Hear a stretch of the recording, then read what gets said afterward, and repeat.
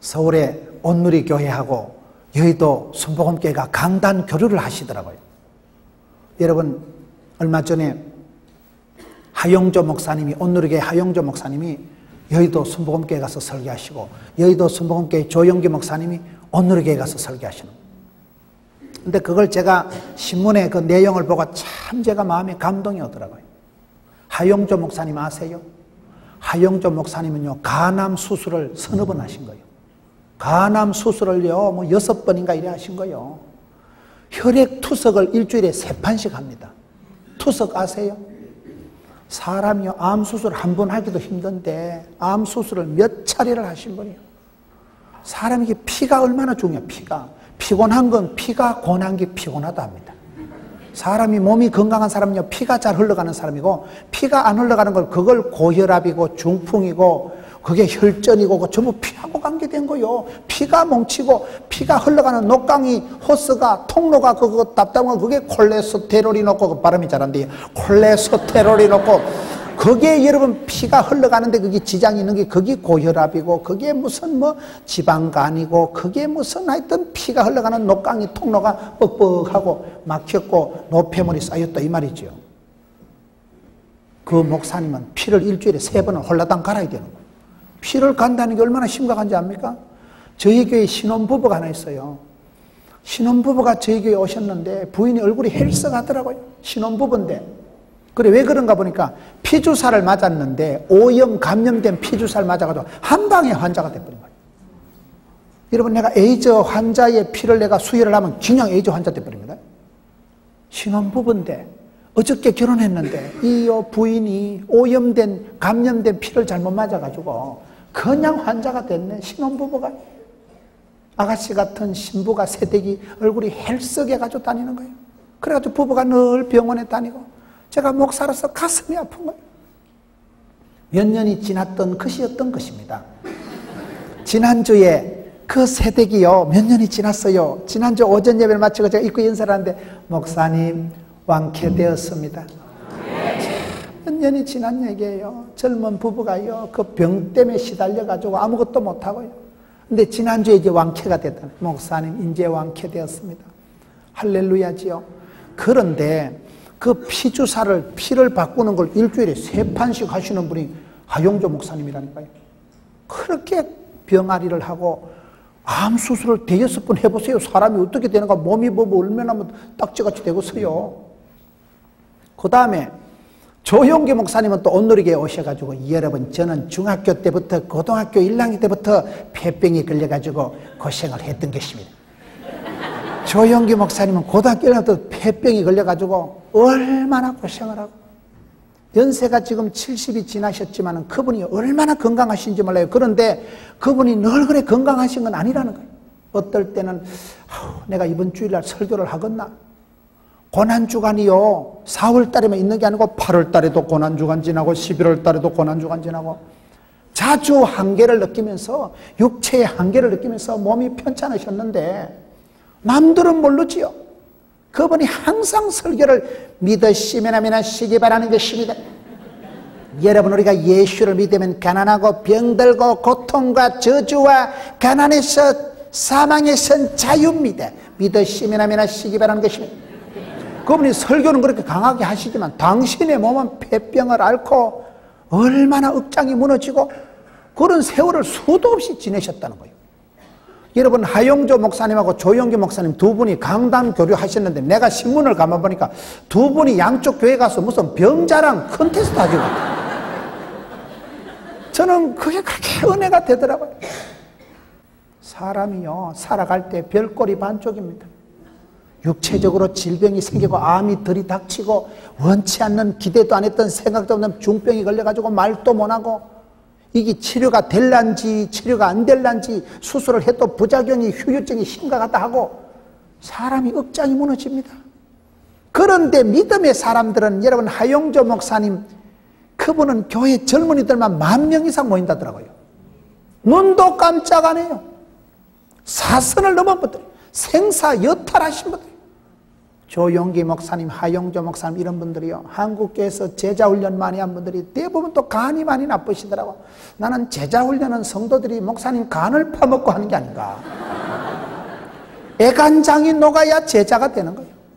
혼을 쏟아서 여러분 내 몸을 다 그만큼 몸이 작살이 날 만큼 혼을 쏟아서 새벽마다 울고 가슴에 품고 기도를 하시고 그러는 가운데 성도들이 자라나고 그렇게 커가는 것입니다.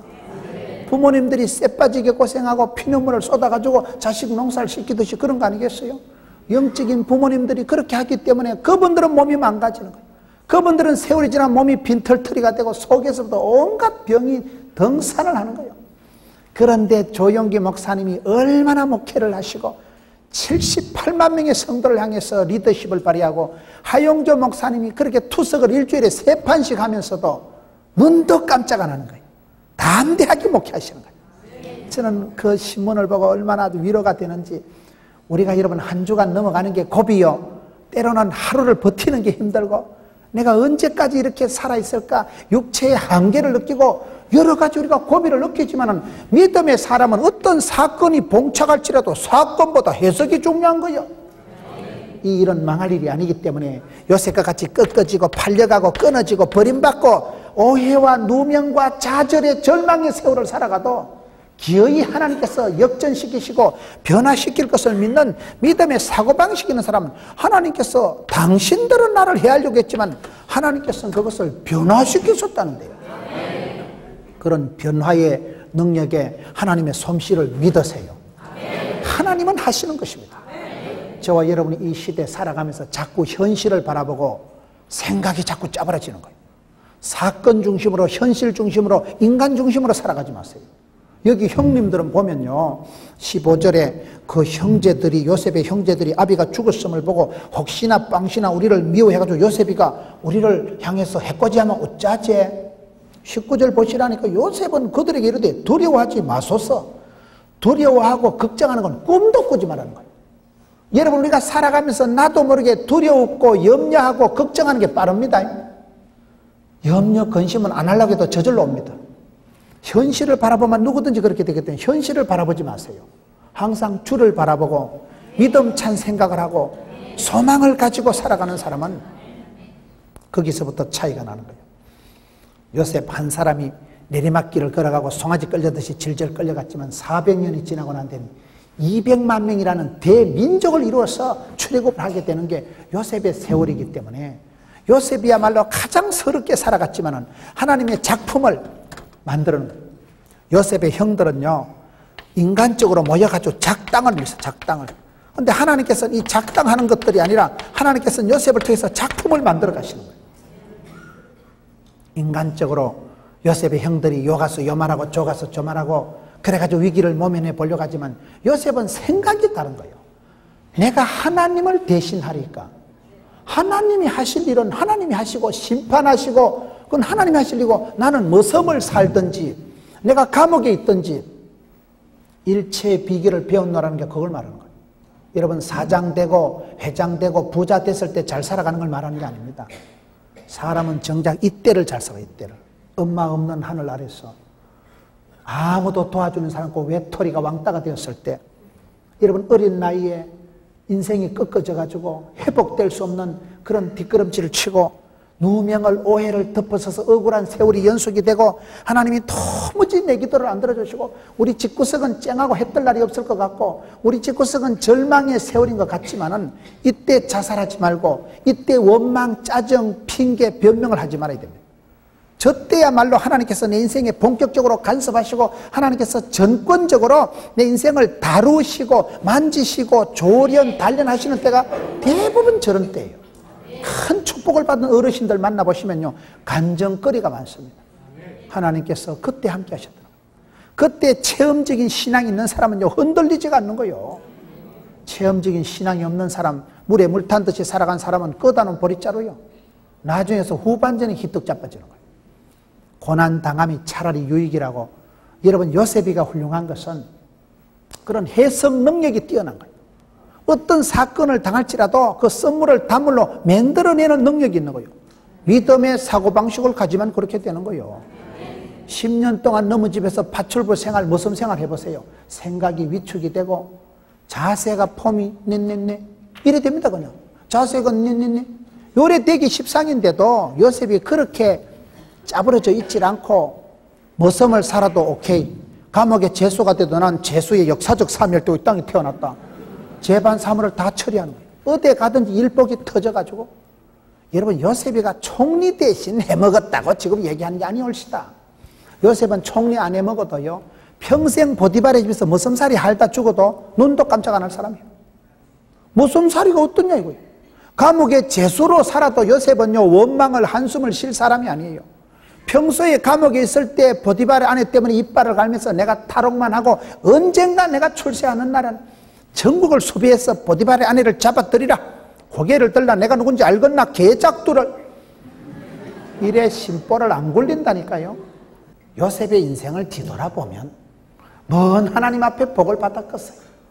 엄마도 데려가고 미우나 고우나 찌지고 뽀갈 형제들도 다 뺏어가고 더 이상 아빠 사랑도 없고 17살에 송아지 끌려가듯이 잡혀가가지고 팔려가가지고 혈혈단신 정막강산 이국만리 싸우고 찢고 돌아갈 고향도 형제도 고륙도 친척도 한 개도 없을 때 하나님이 함께 하실 때는 왜 그럴까요? 하나님께서는 저와 여러분이 뭔가를 좋아하고 그런 걸 눈뜨고 못 보시는 거예요. 하나님은 요셉이와 함께 할 때 사실은 요셉이에게 좋은 걸 다 뺏어가신대요. 엄마도 뺏어가고 아버지도 뺏어가고 미호나 고나 있었던 형님들도 다 뺏어가고 찢고 볶을 게 없어요. 돌아가서 울 때도 없고 하소연할 때도 없고 철저히 외톨이가 된 철저히 왕따 당한 그렇다고 요셉이 한을 품고 쌍권총을 들고 그렇게 안 한다 이 말이에요. 그걸 우리가 해석을 잘해야 됩니다. 여러분 인생을 어떻게 해석하십니까? 서럽습니까? 외롭습니까? 고독하십니까? 고독을 씹어요. 인생은 어차피 고독이지요. 하나님 앞에 내가 절대 고독하게 살아가는 게 인생이요. 결혼을 해도 외롭습니다. 하우스는 사도 여러분 홈은 못 삽니다. 침대는 사도 단잠은 안 사요. 인생은 어차피 하나님 앞에서 절대 고독한 게 인생입니다. 사람을 의지하고 사람 앞에 도움을 받으려고 꿈도 꾸지 마세요. 정작 믿을 때 잡아당기면 썩은 새끼들처럼 툭 떨어지는 게 인생이에요. 요셉이는 형님들의 도움을 받으려고 꿈도 안 꾸고요. 내가 하나님을 대신하리까? 하나님이 하실 일은 하나님이 하신다는 거예요. 하나님의 절대 주권, 하나님의 섭리, 하나님의 간섭, 하나님의 솜씨를 이걸 영어로 코람데오, 헬라어로 코람데오. 코람데오란 이 말이 라틴어인데요. 하나님 앞에서 요셉이는 항상 하나님 앞에서 신전인격을 가지고 살아가요. 하나님을 의식하고 하나님의 작품을 기대하고 소망하고 기도하고 기다리면 기적의 주인공이 되는 거예요. 하나님이 어떻게 나를 끌고 가실까? 얼마나 허벌나게 겁나게 복을 주시려고 써니텐 하나님은 여러 코럼 흔들어 쌀까? 써니텐은 흔들어서 마시는 거요. 하나님께서 복을 주실 때 흔들어서 복을 주신다니까요. 그래서 하나님은 내게 절대적인 사랑과 충성을 원하실 때 내가 말귀를 못 알아들으면 뺏어가 버립니다. 사람이 고난이 없이는 정금 같은 믿음이 안 됩니다. 연단이 되고 난 뒤에 환란을 거치고 난 뒤에 하드 트레이닝 파워 프로그램을 거치고 난 뒤에 빵빵해집니다. 사람이 전투력이 생기는 항체가 형성되는 거예요. 예방주사 한 대 찌를 때 놀래 자빠지지 말라니까요. 그까짓 것 참아만 옥신옥신하고 나면 항체가 형성되는 거예요. 젊어서 고난은 사서도 탄다고 하는데 오늘 여러분 자녀들이 고생도 안 하고 포시랗게 온실안에 하초처럼 자라가지고 나이가 들어가지고 뻥 자빠지는 거예요. 한마디만 들면 소화를 못하고 자살해버려. 남들이 비난하고 책망할 때만 사표 던져버려. 더러버라. 여러분 똥이 더러워서 피하겠어요? 무서워서 피하겠어요? 피하는 거는 쪼다요. 더럽든지 무섭든지 기권하든지 자살하든지 포기하든지 때려치우든지 그만두든지 출근하든지 내빼든지 뭐 그게 그거요. 죽 써서 개 주지 마세요. 네가 먹으세요. 마귀한테 상납하지 마세요. 네가 먹으세요. 면류관을 뺏기지 마세요. 네가 차지하세요. 오늘 이 시대 축복권을 빼앗겨버리고 죽 써서 개 주고 마귀한테 가서 홀라당? 그런 어리석은 일들이 왜 일어날까요? 철이 없어서 그래요. 영적인 분별력이 없어서 그래요. 고난을 당해본 적이 없으니까 고난인지 이게 하도 트레이닝인지 오픈전인지 이게 예방주사인지 뭔지 분간을 못하는 거예요. 아프십니까? 참아요. 고독하십니까? 고독을 씹어요. 어차피 인생은 고독한 거예요. 요셉이가 엄마가 있다고 해볼래 한 거 아니에요. 요셉이 엄마가 없다고 징징거리는 거 아니에요. 형제들이 아버지가 옆에 있다고 요셉이 길을 펴고 살아가는 게 아니에요. 있으나 없으나 있든지 없든지 가난한 데나 부한 데나 어떤 형편이든지 자족 일체의 비결을 배운 거라. 그 배운다는 건 고난의 과정, 고독의 코스를 통해서 배우기 때문에 예수 믿는 사람이 쓰리고를 잘하면 결국은 고상하게, 젠틀하게, 노블하게, 멋있게, 우아하게, 멋지게, 날씬받고 신바람나게 되는 것입니다. 요셉의 용모가 아담하고 준수하게 되었다는 것은 하나님이 함께 하셔서 그렇다는 거예요. 여기 성경 보면요. 범사에 형통케 되었더라. 범사가 뭐요? 매사에 하는 일마다 하나님이 함께 하시니까 형통. 저는 이 말씀을 이해할 수가 없어요. 뭐가 형통이요? 엄마 죽어보고 감옥에 2년 썩어보고 너무 집에 머슴살이 파출부 10년 해먹는 게 형통이만 이 형통 안한건 아무도 없겠다. 불통 먹통 막통이지 뭐 그게 뭐 형통일까요?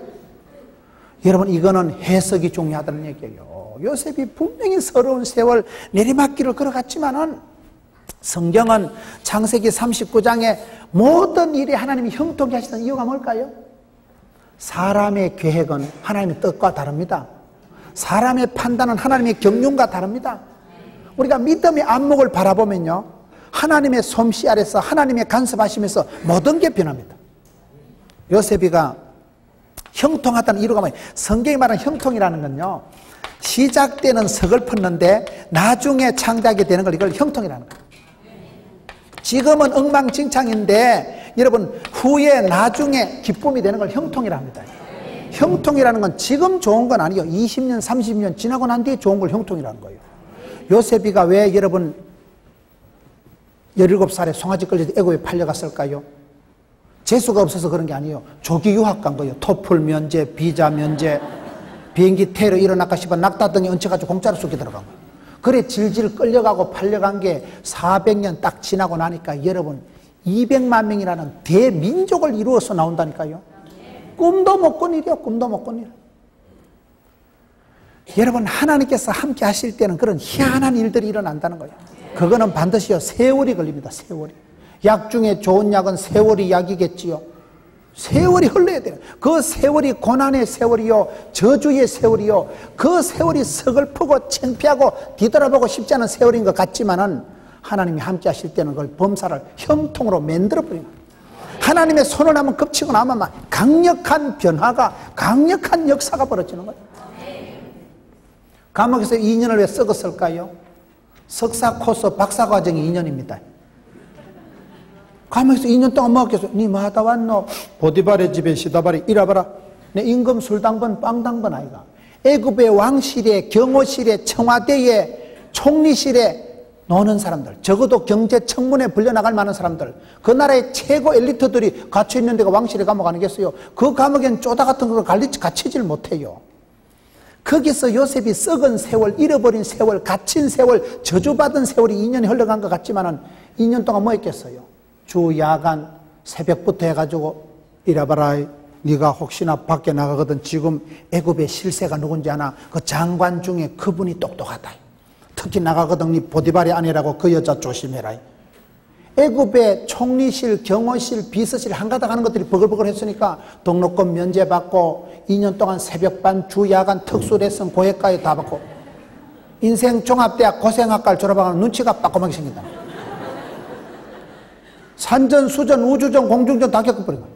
거기서 2년을 딱 채고 30살에 총리가 되는데요. 애굽의 공무원 시험 치는 나이가 30살이에요.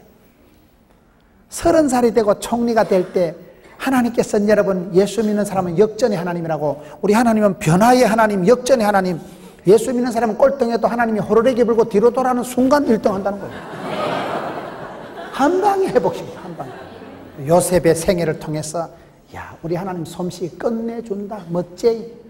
우리 하나님은 당신의 솜씨를 보여주는데 요셉이라는 이 한 독특한 아이, 누구보다도 자살하고 누구보다도 한풀이를 하고 누구보다도 왕따의 세월을 살아갔을 이 한 아이를 그렇게 예수님 닮은 게 60까지나 될 만큼 매력적인 사람.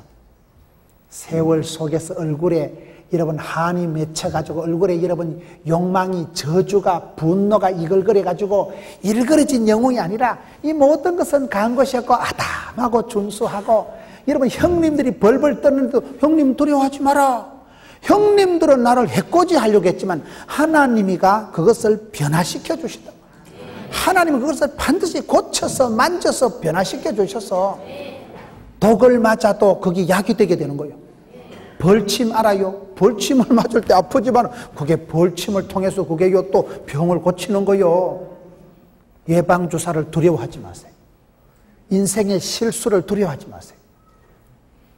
요셉이가 왕따 당할 땐 사실은 보면 지도 왕따 당할 짓은 했어. 뭐 때문에 형님들의 잘못을 아빠한테 고자질합니까? 이러면 같이 놀아먹고 아빠한테 맨날 일러 바치면 기분 좋겠어요? 저 자식 저거는 맨날 요셉의 형님들이 요셉 때문에 맨날 혼나는 거예요. 같이 있다가 아빠한테 가서 다 일러 바쳐 버리는 거예요. 요셉이 왕따 당할 짓을 해. 내가 따가또 그런 새끼는 꼴보기 싫겠어.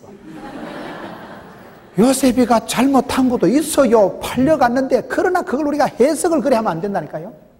요셉이가 왜 왕따 당하고 요셉이 왜 형들에게 미워서 성경의 창세기 37장에 보면 형님들의 과실을 요셉이가 아빠한테 일러 바친 거예요. 과실이 뭐예요? 지나치고 잘못하고 실수하고 실패하고 털려먹은 걸 말합니다. 털려먹은 것을 하나님 앞에 일러 바쳤다는 것은 요셉이가 고자질이나 해먹는 꼬잡한 성격의 소유자가 아니고 요셉은 거룩을 추구한 사람이에요. 적어도 나는 형님들처럼 수박서리 해먹고 닭서리 해먹고 너무 사기치고는 안 산다. 형님들처럼 그렇게 사람 눈에 눈물 나게 해가지고 해코지 해가지고 나는 그렇게는 안 산다. 형님들이 뻔히 잘못된 길을 할 땐 아빠한테 일러 바쳐야죠. 아빠한테 일러 바쳐야 그때부터라도 고치지요. 여러분 요셉이 고자질이나 일삼는 비인격적이고 아주 성질이 개떡 같은 그런 사람이라고 여러분 인간적으로 이걸 해석하지 말자 이 말이에요. 과실인데 자식이 잘못할 때 은혜 엄마가 야 니는 적응력도 뛰어나다 그렇게 외박을 일삼고 하무놈하고 붙어 다니고 그런 엄마가 어디 있어요? 메초리를 들어서 초달을 해서라도 요 자식은 두드리 패는 거요. 여러분 부모님들이 조급증이에요 조급증이요. 요셉이가 감옥에 갇혀있고 너무 밑에 무성사를 10년 할 때 얼마나 화딱지가 나겠어 이게 내가 기도를 해서 될란가 안 될란가? 하나님 진짜 이게 믿을 수가 없대. 거푸 안 되잖아. 시리즈로 안 되잖아. 왜 엄마 죽을 때는 가만히 계시고 형제들이 날 팔아먹을 때도 눈도 깜짝 안 하시고 너무 집에 팔려와서 내가 한 열 달 정도 소가면 회복시켜 줘야 되는 거 아이가? 3년 정도 기다면 응답해 주셔야 되는 거 아이가 10년이 돼도 묵묵부답이고 거기에다가 누명 덮어 쓰고 감옥에 질질 끌려갈 때도 하나님은 어디 계신지 요셉의 생에 너무나 가혹하고 참혹하고 계속 안 좋은 일만 생기고 기도는 응답이 도무지 안 될 때 미국에 가면요 이충건 교수인가 김충건 교수인가 있어요 그분의 책 제목이 Why me? Why me? 왜 우리 집구석에만 이런 꼬라지 하나님 왜 내냐 이 말이요. 왜 내만 이렇게 어려움을 당? 왜 나만 어려움을 당하고 왜 나만 이렇게 힘들고 왜 내만 이렇게 안 풀리냐 이거예요. Why me? 하나님 왜 내게 이렇게 하시냐 이 말이에요. 왜 하나님 내게도 안 주죠? 그랬던 Why me가 세월이 지나가면 하나님께서 그 요셉을 들어가지고 정금같이 쓰시는데 총리 대신 해먹은 건 제껴놓자 이거요. 총리 해먹었다고 뭐 출세 성공인가? 그런 건 아무것도 아니에요. 하나님께서 요셉과 함께 하시고 임재하시고 임마누엘 하시고 하나님의 그 솜씨에서 요셉의 삶을 형통하게 만드셨다 형통이라는 건요 상당한 아픈 이야기가 전반전에 서럽고 더럽고 억울한 일이 깔려 있다는 얘기 하나님 그것을 변화시켜 주시는 분이 우리 하나님이십니다. 요셉의 일생을 통해서 하나님께서 경륜을 가지고 솜씨를 가지고 한 사람을 어떻게 만지시는가 한 사람을 기어이 어떻게 믿음의 영웅으로 만들어 가시는가를 정확하게 통로로 샘플로 모델로 보여준 사람이 요셉입니다. 저는 제 인생의 전반전은 창피한 세월이. 어째 이런 예수 담미는 집구석에 태어나가지고 어째 아버지는 빨리 죽어가지고 어째 자취를 11년 해도 안 되고 여자한테 두 판 차이고 아무리 기대도 병이 안 떨어지고 거기다 군대라도 보내지 말아야지. 기도도 안 들어주시는 고리심줄 같은 하나님이 병 주고 약 주고 그런 세월들이 지나갔는데 어느 날 뒤돌아보니까요. 서럽고 더럽고 창피하고 부끄럽고 그런 시절은 간 곳이 없는 거요. 지금 제가 얘기를 여상한다는 것은 이게 다 회복이 됐다는 얘기요. 진짜 쪽팔리면 얘기 안 합니다. 자기 약점이 진짜 있는 사람은요, 달팽이처럼 속으로 기들어가지요, 표현을 안 합니다. 여러분, 이게 모였을 때 뭐든지 자기 약점을 얘기하는 사람은 이미 약점이 아니에요, 그건 간정거리라 하는 거예요. 하나님이 그 서러운 세월을 변화시켜 주신다는 거예요. 요셉이가 정서상으로 한이 없고 요셉이가 마음에 스트레스가 없고 컨디션이 베스티스트라는 게 증거가 뭔가 하면 오늘 창세기 50장 17절을 보세요. 장세기 50장 17절 끝에 보면 요셉이 그 말을 들을 때 울었더라. 여러분, 요셉이 울었다는 게 무슨 말일까요? 요셉은 사람이 말이죠. 요셉이가 울었다. 사람이 진짜 서럽고 더럽고 앵고 보면 눈물이 안 납니다. 사람이 많이 힘들고 진짜 서러우면요 치가 떨립니다. 눈물이 안 흐르고요 몸이 벌벌벌 떱니다. 치가 떱니다. 요셉이가 울었다는 것은 정서상으로 한이 안 맺히고 가슴속에 스트레스가 없었다 이 말이에요.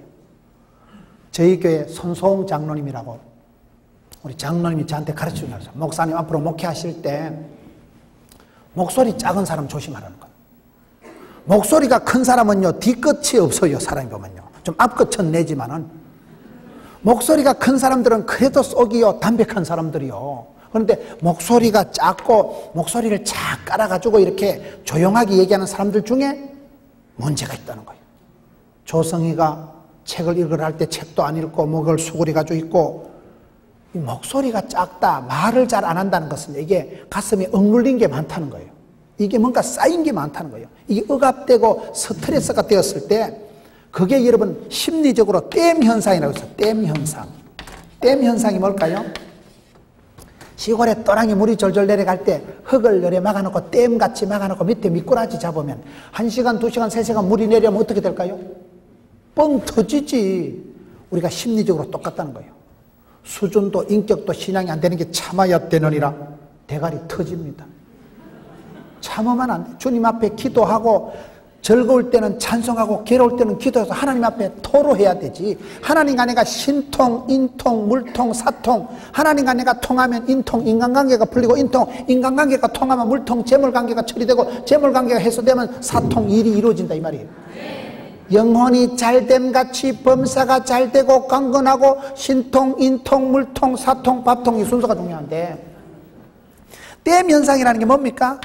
무조건 참으면 안 돼요. 정신의학적으로 참는 게 제일 나쁜 거예요. 참아야 되느니라. 갑상선이 자빠져 버려요. 우라통이 터져 버립니다. 그때 이게 문제가 오고 그 어느 순간 억압된 감정이 터질 때는 엄청난 테러리스트가 돼버려요. 많은 사람들에게 끔찍한 일을 저지르는 거예요. 왜요? 스프링이 거예요. 댐이 무너져버린 거예요. 이 마음에 눌렸던 것이 뻥 터지기 때문에 여러분 성격이 조용하고 내성적이고 말이 없는 사람이 화내면 더 무섭습니다. 덜렁덜렁 하는 것들은 화를 내도 조금 이나면 지도 잊어버려요. 그런 것들은요, 뒤끝이 없어요. 앞끝은 좀 있지만은 사실 그런 사람은 다루기가 쉬워요. 성질 뻘뻘뻘 내는 사람은 별거 아니에요. 수가 짧아서 그런 거예요. 진짜 고수들은 말을 안 합니다. 말을 안 하고 조용한 사람 그 조심해야 된다는 거예요. 목사님 목소리 작고 앞으로 그런 사람 조심하세요. 그런 사람은 열받으면 큰일 난다는 거예요. 성경에는 없지만은 상당히 지혜로운 말 같아요. 제가 봤을 때. 땜 현상이 나타나는데 여러분 요셉이는 왜 문제가 없었을까요? 울어버린 거예요. 사람이 눈물이 나온다는 거. 눈물이 뭘까요? 눈물이라는 게 성분상으로 H2O. H2O가 아니라는 거예요. 내가 회개할 때, 자복할 때, 통회할 때 눈물이 쫙 흐르면요 영혼에 독이 빠져버립니다. 눈물이 안 흐르는 사람은 이게 건강상으로도 심각합니다. 눈물이 나와야 눈가리가 눈알이 보호가 됩니다. 눈물이 안 나오면 이게 망막이 상하고 이게 눈이 말라 비틀어지면 큰일 나는 거요. 이게요. 건강상으로도 눈물이 굉장히 소중하듯이 영적으로 정서상으로도 눈물을 흘리는 사람은 한이 없습니다. 여러분 눈물 펑펑 쏟아봐 오장육부가 다 후련합니다. 오늘 이 시대 교회 나와서 성도들이 울어야 되는데 눈물은 안 하고 희죽거리고 웃기는 하고 그게 문제요. 찬송을 부르다가 가슴이 목이 끄끄 맥혀가지고 한 소절을 못 넘어가고 설교를 듣다 혼자 저 밑에 어디가 시큰 울었으면 좋겠다. 찬송이 하늘에 사무치고 기도가 죽게 상달되고 말씀이 막 감동이 되면 가슴이 벌렁벌렁하고 눈물이 펑펑 터지고 그때 카타르시스가 그때 우리 몸에 치유가 정화가 회복이 일어나는 것입니다. 요셉이 울었다는 것은요 가슴에 맺힌 게 없어요. 한이 맺혀가지고 가슴 아리를 해가지고 내 씨 다 죽여버려야지 내가. 형님들 만나기만 해봐라. 팔자고 동이 제청한 놈들 순서대로 나와. 개짝두를 때리해라. 이런 스트레스가 이런 한 맺힌 게 조금도 없는 거예요 형님들을 볼 때 불쌍한 거예요 형님들아 형님들아 나는 형님들 안 미워하는데 형님들 왜 그러는데 얼마나 세월이 흘러야 철이 들까? 너것들이 형님은 형님인데 내가 보던 악어들이다. 형님들 하는 꼬라지가 서글프고 하나님의 그 위대한 솜씨에 비해서 자기보다 위에는 형들이지만 겨우 머리 굴리는 게 천박하고 소심하고 인본적이고 얼마나 세월이 흘러야 너거는 좀 하나님의 뜻을 생각 맨날 감정적으로 열받고 삐끼고 깝치고 인간은 정으로 살아가는 게 아니에요. 하나님의 뜻으로 살아가는 거예요. 요셉의 세월을 보세요. 요셉이 울었다는 것은 정서상으로 편안했다는 말이에요. 해소가 됐다는 말이에요. 하나님 앞에서 울 수 있는 사람은 영혼이 맑은 사람이에요. 하나님 앞에서 펑펑 우는 사람은요, 가슴에 섭섭한 게 없습니다. 저는 인간관계에서 중요한 게 섭섭증이라고 생각합니다. 섭섭할 때 있잖아요. 적어도 집사님이 나한테 그럴 수 없지. 그 섭섭한 생각이 들면 그게 소위 우리말로 시험 들었다 하는 거예요. 부부째 간에 신랑이 나한테 최소한 그럴 수는 없지. 그러면 그게 시험 든 거예요. 섭섭한 마음이 들거든 회개하세요. 예수 믿는 사람은요, 섭섭증이 없어야 돼. 시어머니한테도 섭섭한 게 없어야 되고, 며느리한테도 섭섭한 게 돼. 섭섭하는 순간 마귀가 틈을 탑니다. 섭섭하지? 니도 좀 꼬잡하게 생각하지? 그럴 수 없다고 생각하지? 맞다, 해가. 붙어라. 니도 한판 해라. 그러면 니 한 주먹, 내 한 주먹. 물 먹이고 물 먹고 치거니 받거니 그러다 집구석이 거들나는 거예요. 섭섭증이 생긴다는 것은 마음에 스트레스가 한이 쌓이기 때문에 그럴 때는 회개의 눈물을 질질 흘리면요 내 영혼이 깨끗해지는 거예요. 영혼이 새처럼 가벼워지고 새털처럼 가벼워지고 샘물처럼 정결해지고 예수 믿는 사람은 항상요 여러분 요셉이가 총리 대신 해먹은 걸 얘기하는 게 아니라 하니까 지금 용모가 아담하고 준수했다는 것은 스트레스가 없었다는 거예요. 한이 맺히고 억울함이 쌓이고 분노가 이글거려 가지고 얼굴에 표가 날도록 도끼가 질질 흐르도록 얼굴에 여러분 한이 서리도록 하지 마세요. 하루를 살아도 천년을 살듯이 살아가고 어떤 더럽고 서럽고 앵꼽은 시절에 봉착할지라도 할렐루야 썰렐루야 하지 마라 이 말이에요. 하나님이 함께 하시면 되지요. 합력해서 선을 이루시지요. 요셉이가 얼마나 요셉이가 원수 갚는 걸 한번 보세요. 요셉이가 그렇게 하고 울고 난 뒤에 23절에 에브라임의 자손 3대를 보았으며 문하세의 아들 마길의 아들들도 요셉의 설하에서 양육되었더라. 요셉이 그 이후에 3대를 내리보고 그의 모든 자식들도 형님들의 동생들 자식들도 다 자기가 양육해주고 24절에 나는 죽으나 하나님께서 너희를 건고하실 것이다. 25절에 요셉이 또 이스라엘 자손에게 맹세시켜 이르기를 하나님이 반드시 너희를 건고하시리니 너희는 여기서 내 해골을 메고 올라가겠다 하라.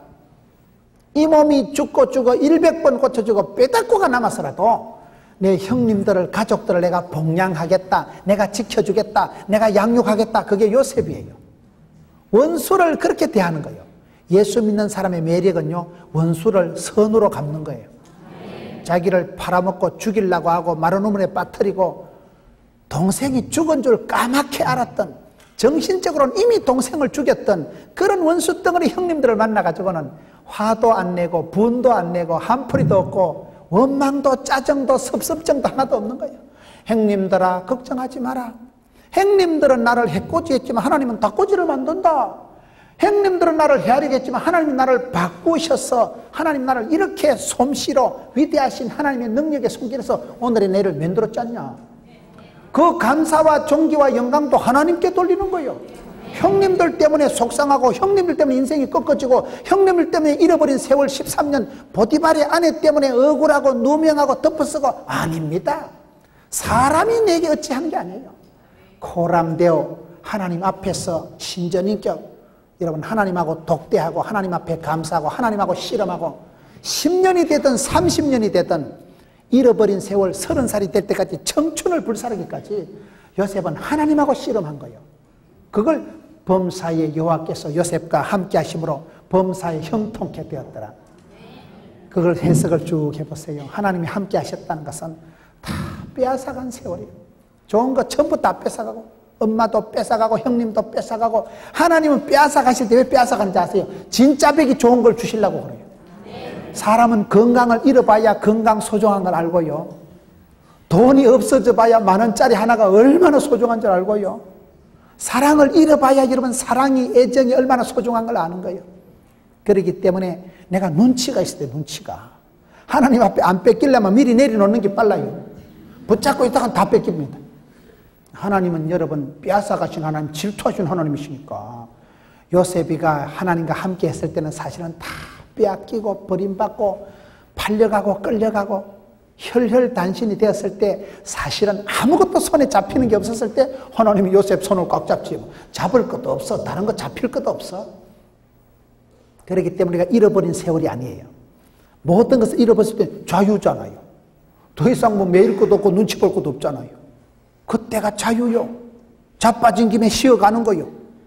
빼앗긴 세월이 빼앗긴 그때가 진짜 하나님 앞에 홀로 고요히 주만 바라볼 수밖에 없을 때 하나님 그때 요셉의 손을 꽉 잡고 필경은 반드시 형통하게 요셉의 세월이 여러분 얼마나 재밌는지 몰라요.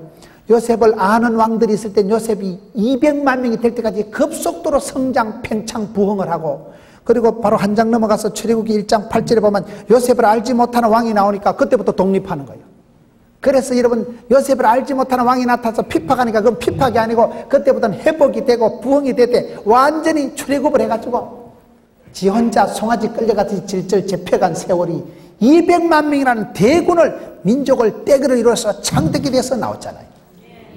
하나님께서는 우리의 일그러진 삶도 주름 잡은 삶도 펴주시고 하나님이 신원해 주시고 눈물을 닦아 주시면 그 눈물이 요셉은 이미 사준이 많이 울었거든요. 요셉이 울었다는 것은 정서상으로 해소가 됐다는 거예요. 사람이 눈물이 있다는 사람, 눈물이 있는 사람은 부드러운 사람입니다.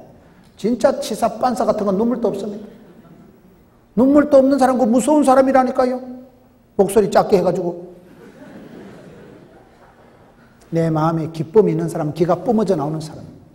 내 마음에 신바람이 나는 사람은 마음속에서 그런 기쁨의 소유자가 되고 요셉과 같이 한도 없고 원도 없고 그런 아담하고 준수한 세월을 살아가니까 요셉을 통해서 하나님은 이스라엘 민족을 보존하시는 거예요. 한 사람 아이가 질질 끌려간 게 아니에요. 200만이라는 대군이 나오는 400년 후의 역사는 상상도 못하는 요셉이 여러분 꿈꾸는 자로서 창세기 37장 19절에 나타나지만은 그 꿈이 이렇게 이루어지리라는 건 아무도 모르는 거예요. 30년이 지나도 아무도 몰랐고 하나님께서 당신의 솜씨로 당신의 경륜, 당신의 작품, 당신의 만지심, 당신의 섭리의 손길을 통해서 만들어 가시기 때문에 오늘 이 시대도 여러분 세상의 정치가 경제가 어떤 대통령에 의해서 좌지우지 되는 게 아닙니다. 하나님의 주권에 의해서 하나님이 여러분 삶을 만지시고 여러분 삶을 간섭하시고 섭리 예정 인도하실 때 하나님께서는 어떤 인간의 작당을 통해서라도 여러분 생을 작품의 세월로 만들어 가실 것입니다. 오늘 굳게 믿으세요. 끝까지 믿으세요. 포기하지 마세요. 합력해서 선을 주신 하나님 손길을 기대하고 기도하고 기다리면 하나님의 약속의 말씀을 기억하면 기적의 주인공이 되는 것입니다. 여러분의 삶에 이런 감정을 체험하고 여러분들 고생해도 자식 때라도 주여 우리 가정을 굽어보시고 우리 가정을 형통하게 해주시고 천대까지 복을 주시고 그런 아름다운 가정 요셉과 같이 필경은 아담하고 준수했다는 그런 호칭을 들을 수밖에 없는 하나님의 형통함이 그의 일생을 통해서 정확하게 나타나는 사람 아무리 일그러진 세월을 살아도 하나님께서 피어나게 도단하게 살려주시는 그런 멋진 하나님의 축복권이 나타나는 통로가 되는 여러분 되시기를 축원합니다.